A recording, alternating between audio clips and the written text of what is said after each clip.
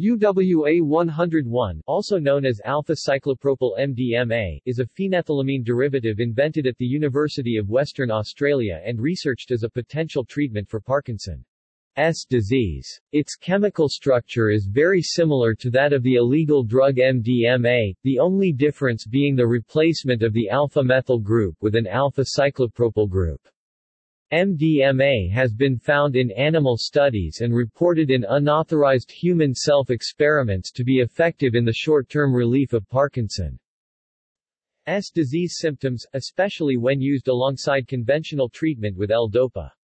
However the illegal status of MDMA and concerns about its potential for recreational use, neurotoxicity and potentially dangerous side effects mean that it is unlikely to be investigated for medical use in this application, and so alternative analogues were investigated. Replacing the alpha-methyl with a cyclopropyl dramatically reduces affinity for the noradrenaline transporter and 5-HT2A receptor targets, while retaining high serotonin transporter affinity and markedly increasing affinity for the dopamine transporter, and as such, it is one of the few selective SDRIs or serotonin-dopamine reuptake inhibitors.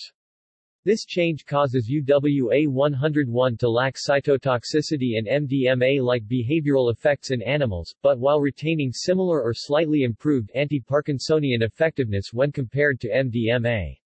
This research was a continuation of earlier work from the same team which showed that replacing the alpha-methyl group of MDMA with larger aromatic ring systems produced compounds which lacked psychoactivity and neurotoxicity, but had potent anti-cancer effects against Burkitt's lymphoma cells in vitro. UWA-121 is the R enantiomer of UWA-101 and the S enantiomer is UWA-122.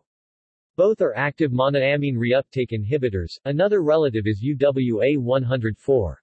Alpha-isopropyl MDMA, which is also active. See also MBDB methyl K, UWA-091, UWA-001 RTI-83 Another drug which selectively increases dopamine and serotonin levels without affecting noradrenaline References External links Do neurologists dance?